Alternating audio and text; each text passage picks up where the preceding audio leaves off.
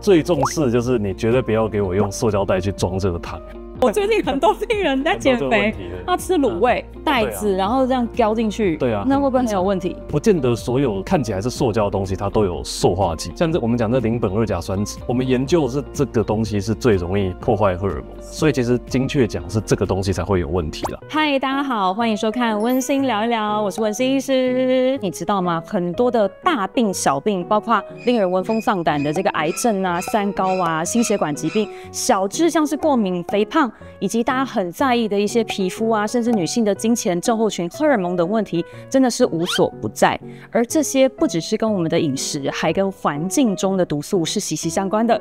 所以，为了揭开这些毒素的秘密，我今天特别邀请到在预防医学里面有卓越成绩，而且在营养医学也非常在行的我的好朋友许崇恩医师来跟我们聊一聊。欢迎，谢谢谢谢，大家好，我是许崇恩医师。听说许医师其实自己本身呐，是不是就是毒素的受害者啊？对对对对。我开始做预防医学的时候，就发现自己很容易受到这个环境毒素的影响，体内很容易积累这种重金属，像是汞，验到这个毒素过多也就罢了，我的营养素还容易被它消耗掉。所以那时候是有什么样的症状？其实这是重点，就是没有症状。但是有一个很重要的点，是因为环境毒素其实会容易降低我们的免疫力，所以我有帮自己监测自己的免疫力，发现有一个东西叫做 NK 细胞，哦，特别的低落。是啊，NK 细胞中文翻译叫自然杀手杀手细胞。对，那它除了可以杀病毒之外，其实有一个很重要的点就是杀癌症。那时候我因为想帮自己打造一个不会得癌症的体质，人家 NK 细胞可能六算是及格，嗯，我居然只有零点九。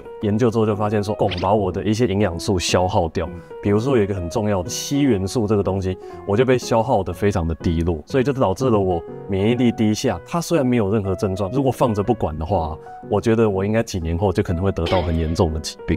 我觉得这个是一个很重要的观察，就像你讲，它是没有症状的，没错。可是如果不是因为你自己想要在这个领域让自己更加的健康的话，其实你根本不会意识到这件事情。所以我才说，为什么说我是抗衰老营养医学？抗衰老意思是我想要防患于未然，就最好它完全不要发生。但是环境有时候是我们没有办法去预防的时候，那我们怎么办呢？应该要从辨识跟认识开始，我们才有办法在生活中做选择嘛。所以希望这一集呢，我们就是可以从生活中来更了解。保护自己和家人的健康。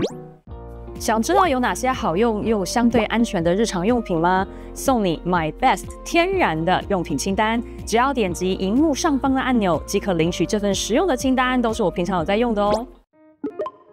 台湾那时候在二零一一年的塑化剂事件之后，虽然过了两年，也就是来到二零一三年，可是，在二零一三到二零一六年当中，他们统计了将近两千位台湾人的一个尿液破落塑化剂的情形。报道指出啊，在塑化剂，也就是邻苯二甲酸酯类，我们平常讲的 DHP 这个部分，代谢浓度仍然是高于一些先进国家，大概是两到七倍的一个问题。很多人对环境荷尔蒙无感啊，是因为它不像急性中毒嘛，而且也不会有马上的危机感或是疼痛。我觉得这就是它。它最恐怖的地方。今天想举一个例子，很多年轻女性都会遇到的一个叫做子宫内膜异位症的问题。那有些人也把它叫做巧克力囊肿。想分享的这位是一个三十九岁的女性，她来我诊所主要就是很严重的过敏加上经痛的问题。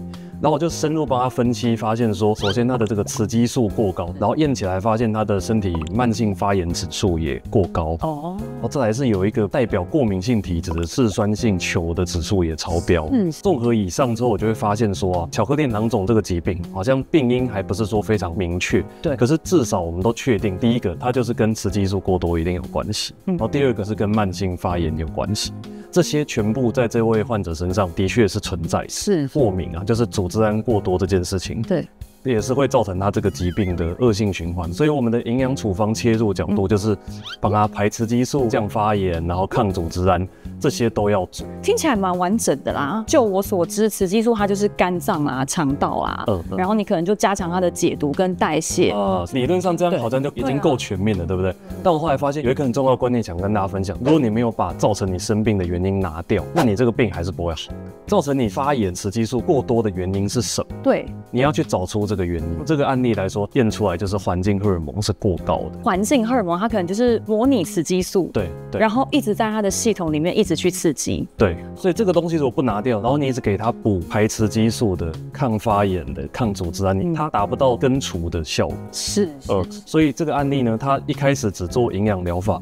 有得到改善，可是没办法根治。对，但是好消息是，他重视了无毒生活的经营啊，就是把环境荷尔蒙都从生活中排除之后，他去妇产科检查就发现他的巧克力囊肿已经缩小。那这其实也让我想到，也是今年吧，台湾的团队他们也是去分析我们台湾的乳癌年轻化，五十岁以下的女性开始变多了。那其中一个原因，他们就发现，我们的癌症跟国外比起来不一样的是，我们的环境荷尔蒙的影响比较大，主要可能是一些氟化物啊之类的，可能在我们的衣服啊，或是出去里面，可能都是有的。所以我觉得这是一个很大的问题。如果不是这种氟化物，就像我们刚刚讲的塑化剂类的，或是女生用的保养品啊、乳液啊，里面可能有些防腐剂类的。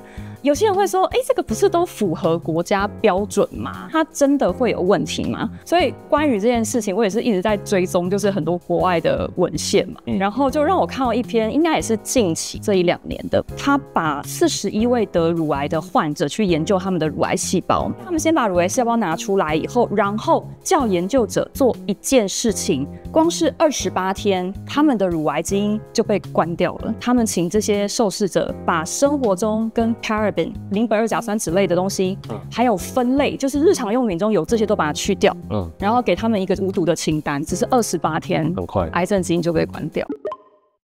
听完这些恐怖的案例，大家应该会很想知道哦，要怎么检测是否呢自己已经受到环境荷尔蒙的影响？检测的话，其实主要就是验尿液就可以。这环境荷尔蒙，我们主要把它分成三大类。第一类就是我们常讲的塑化剂，第二类是防腐剂，但是一个特别叫做 paraben 的这个防腐剂。嗯，第三类主要大家比较少听到，是一个叫酚类的一个物质，比较长新闻有在报，大概就是叫双酚 A。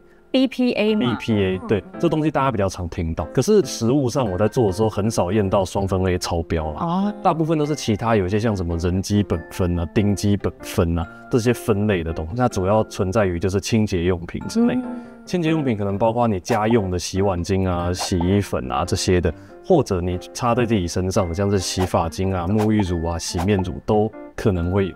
担心自己体内是否累积太多环境荷尔蒙的观众们，赶快点击荧幕右上方按钮或资讯栏链接领取吧。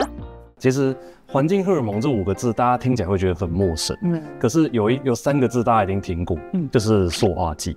大家很常见于食品包装，比如像保鲜膜啊、塑胶盒啊等等等。哦，所以大家其实现在都很有意识，会用环保餐具嘛。对，所以其实这个问题应该是。越来越少了才对，很多研究还是都发现说，怎么塑化剂在体内还是这么多？因为可能你拿塑胶袋装热食等等的，你吃进去就会造成塑化剂超标了。一超标有什么风险呢？有几个重要的点，就是你的 BMI、你的腰围、你的体重。还有你的胰岛素阻抗可能都因此会升高，所以你接触到这类毒素越多的话，简单讲，你就越可能会肥胖。因为身为一个妈妈，真的是从我怀孕以后，我才开始意识到这件事情。因为你知道，妈妈在买东西的时候，查网络就会发现说，她特别强调这个无什么无什么，你才会意识到说，哈，所以这个很严重吗？因为孕妇跟小孩，他是最易感的族群。台湾国会院的研究追踪了十三年，他就是查孕妇在看生出来的小孩未来的发展，它不只是在性荷尔蒙方面生殖系统的一些异常，它甚至会影响到智商哦，对，行为，对对，情绪，就是跟脑部的一些影响，没错，没错，其实都是有关系的。我们最重视就是你绝对不要给我用塑胶袋去装这个糖。我最近很多病人在减肥，他吃卤味袋子，然后这样叼进去，对啊，那会不会很有问题？其实用塑胶餐盒，不见得所有看起来是塑胶的东西，它都有塑化剂。像这我们讲这邻苯二甲酸酯，我们研究是这个东西是最容易破坏荷尔蒙，所以其实精确讲是这个东西才会有问题了。对，其他塑胶产品会不会有问题？不能不能不能以偏概全这样。对对对。所以其实现在在装食物的东西，基本上都有受到管制，比较不容易会造成问题。有一些可能小吃摊呢，大家没有这个概念的话，就会装一碗热汤，直接就倒到塑胶袋里面，这个就很伤啊。嗯，很多人在来我这边验，然后发现塑化剂超标，都会非常惊讶，因为他们就是健康意识很高的，都带环保餐具，去哪里他都拿自己的餐具装。那这样怎么还会塑化剂超标？就代表说，除了我们熟悉的这种食物中摄取到之外，一定还有其他的源头。后来我就开始研究，就发现说。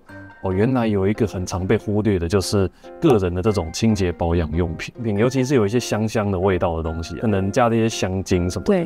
然后那些香精不是塑胶嘛？大家可能无法想象，其实香精里面为了有这个定香剂，邻苯二甲酸酯。就是这个塑化剂是是。来让它定香，所以就会不小心就擦到身上，就进到体内。像你刚刚说的那个，并不是。每一种东西都有毒哦，这个特特也强调，就是塑胶其实有分的，所以像其实我们回收的时候，不是会看那个塑胶的标志嘛，对不对？塑化剂它可能比较常在 PVC 这种类型里面，可是如果是 PP 的食品级这种分类的话，相对来讲是就就没有关系。我们其实很多大环境的毒素真的无法避免啊，但我们不是要百分之百都避免，而是你要有意识的慎选自己吃的或用的东西。比如说啊，我前阵子啊去买了一个干洗手液，我就随便抓了，但是没发现说它原来是柑橘口味，一喷，我整个打喷嚏打了十分钟都停不下来，超严重。当你开始有意识的把毒素避开，过一阵子之后你再碰到这个东西，你会很明确知道它对你身体是不好的。但我觉得香香的东西真的好难哦。我以前超喜欢香氛蜡烛，香氛蜡烛就是那个仪式感。我又觉得，我只是这样闻到，他又没有碰到我。香氛蜡烛是不是也是徐医师心中一个很大的雷？对啊，因为我其实现在对这个东西真的超敏感，所以我也知道那个东西摆起来视觉上真的超疗愈。其实闻到的跟插在身上的东西，我都会很小心啊。然后像是要让自己香香的或环境改变一下这个空气这种氛围的话，我可能就会用纯露或者说是精油哦。像这个就是纯露，我可能有时候就是心情会被影响，然后就会拿出来就可能就喷一下，环境的氛围就会改变啊。或者说有时候下班后整个自律神经有点太旺盛，想让自己开始平静下来的话。那就会拿精油啊，就是很简单，就涂在手上，稍微闻一下。嗯，不止香香的，甚至你看芳香医学其实是一个治疗方法，你就可以让自己感觉到平静，然后抗焦虑的。我我跟你讲，我真的是平常 拿起来有点不好意思。我平常大概带四五罐的，这个是纯露，这个是精油，这个是精油按摩油，这个也是按摩油。哎，很多秘密配方的感觉，这 都是你自己配的吗？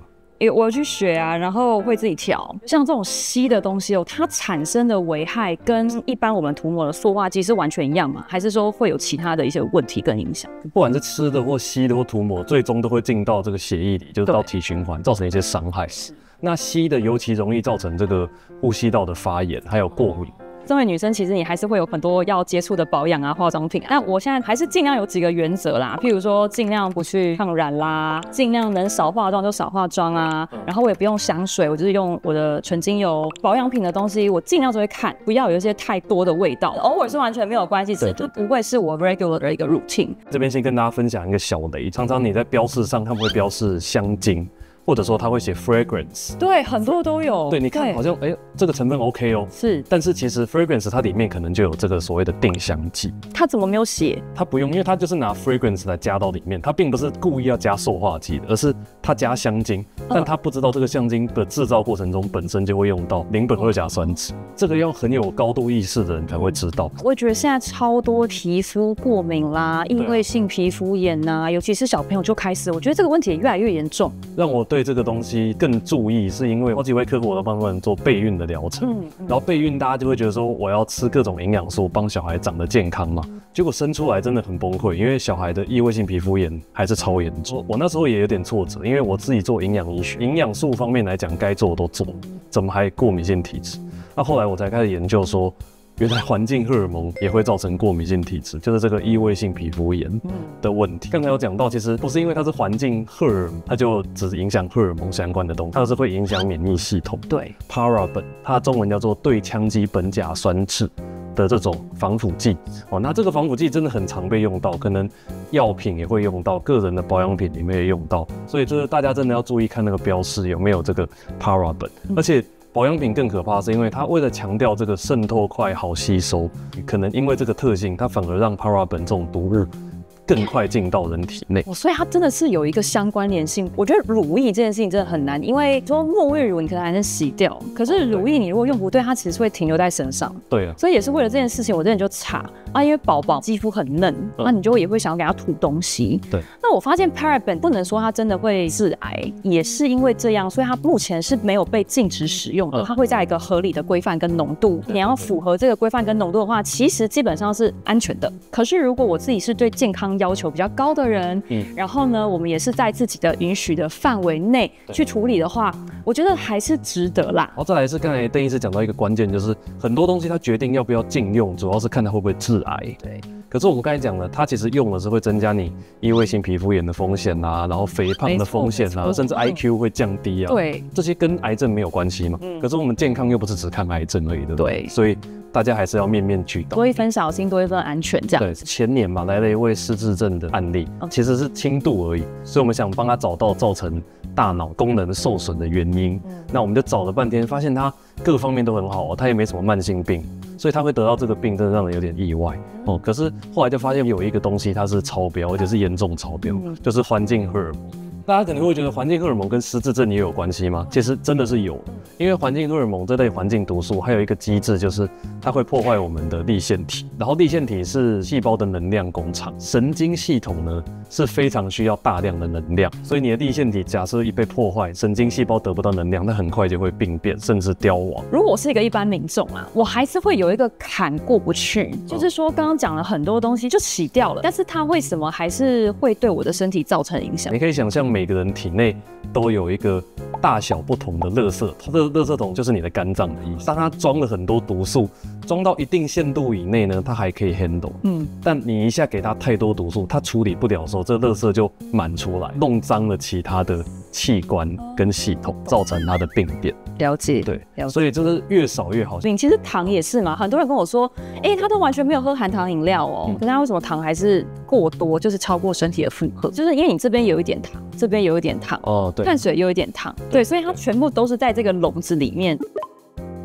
我们如何去强化我们这些解毒啊，或者是代谢的一个系统？跟大家讲一些基本功，那饮食中就是要多样摄取各种的蔬菜水果，因为它们里面有抗氧化营养素、植化素、维生素、矿物质等等，都非常的丰富，所以这其实是基本功。再来就是多喝水，水一定要够，你毒素才排得掉。如果不靠肝脏的话，我们可以靠排汗。所以运动啊，或者是你洗一些三温暖啊、泡澡啊等等的，都可以让毒素借由汗逼出来。是，这也是一个好方法。嗯哼，营养素来讲，保肝的营养素有非常多种。保肝之后呢，这个肝脏会把毒素倒到肠道。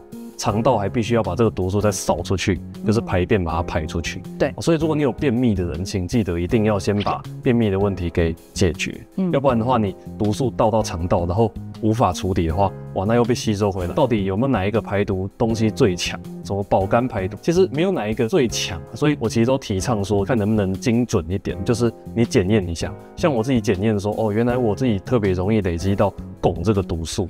然后特别容易把我硒元素消耗掉，那我当然就要多重视说哦，避开汞啊，然后多补充 selenium 啊，这就是我个人的这个排毒疗程。是是，那大家不妨就是可以找熟悉营养医学的医生，就是来做这件事情。嗯，那如果不这么做的话也可以。那简单来讲就是，比如说谷胱甘肽。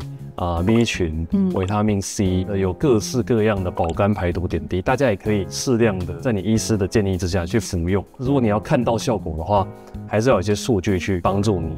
要不然保养用跟治疗用的剂量是完全不一样。保养是为了让自己不要有严重的缺乏症，对。可是你如果吃到高剂量，是为了把毒素给逼出体外，吃一般剂量就没有用。对，我我觉得很多的营养素，包括我们常听到的锌、硒、碘、铁、钙、镁、钠、钾这些矿物质，你就把它想成是身体本身就是需要的东西，好像就是我这栋房子的钢骨架构，架构不稳，你没有给它足够它本身需要运转的东西，它就没有办法运转的很好。对啊，在这个充满挑。挑战的时代，保护自己的健康是至关重要的。快来找我们医师啊，帮身体好好的解毒一下，即刻行动，远离环境毒素。那今天非常谢谢许崇医师来到我的温馨聊一聊。那希望下次有机会再跟我们分享更多的知识。如果喜欢这支影片的话，帮我们按赞、分享、订阅、开启小铃铛，并且分享身边的朋友。许医师自己有粉砖，然后可以去追踪，得到更多的营养资讯哦。我们大家下次见，拜拜。